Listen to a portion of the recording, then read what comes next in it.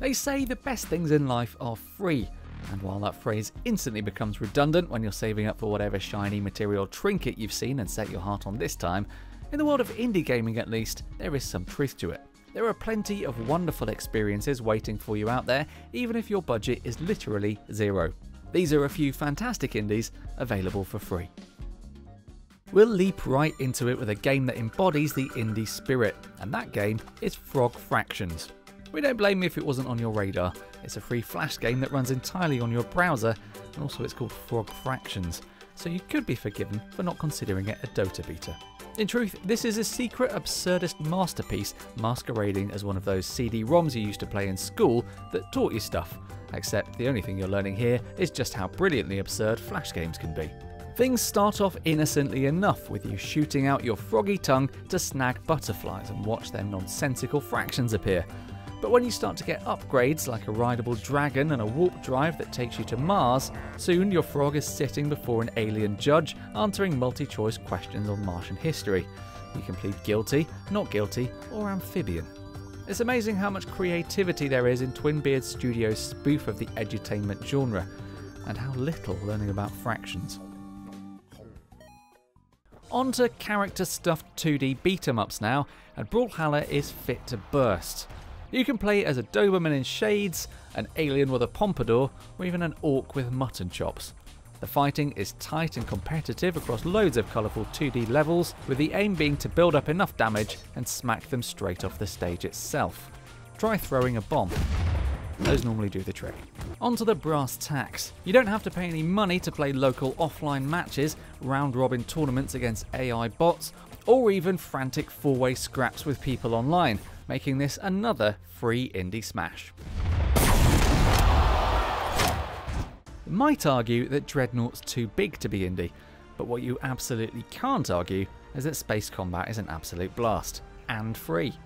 Rather than put you in a puny little dogfighting craft, here you play the commander of a hulking capital ship, and it makes the short online skirmishes feel extra tactical as you steer them to outflank opponents, divert power to guns or thrusters, and group up with teammates to deliver missile barrages.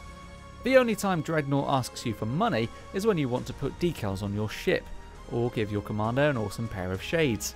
It's a bit like being the captain of a pirate ship, but like in the sky. Everything you see and hear in arcade mashup Armagod came from the brain of a single indie developer, Nathalie Lawhead. That includes a dinosaur builder in which you slap together your very own prehistoric Frankenstein from disembodied heads and limbs, a side scrolling shooter where the enemy is rabbits, a clicker about tossing spam emails into a garbage disposal as they shout things like Congratulation, and a game of noughts and crosses against a diabolical hamster. Oh, and if you want to exit the game and stop experiencing the contents of Lawhead's brain, you get a short infomercial from the Shut It Down police. Downloading this cute mystery game from the Cyberpet Graveyard domain is a challenge in itself. There are numerous warnings not to, but fail to heed them and you'll unleash 10 mischievous critters on your desktop. They howl and cackle, spit out notepad files with snippets of story on them, and in one monster's case, barf out his favourite desserts. There is a story here to piece together about bad experiments and trapped scientists, but we'll leave you to unravel it. In the meantime, we're just trying to round this lot up into the recycling bin. Probably our fault for opening them all at once. You probably didn't think you needed to play an interactive musical set entirely in Yorkshire, but you do. You definitely do. I Fair Lady is a fully voiced point and click taking place on mandatory singing day in an otherwise sleepy Yorkshire town. The story kicks off when you're fined by a squad of robot enforcers for using your natural speaking voice, and sees your character try to navigate their most dreaded day of the year. And if you're wondering what kind of form such a game might take, there's a sing off with a thespian puppeteer who takes her job very seriously, and a puzzle about bypassing a mechanical bouncer by obtaining a suitably sparkly dress.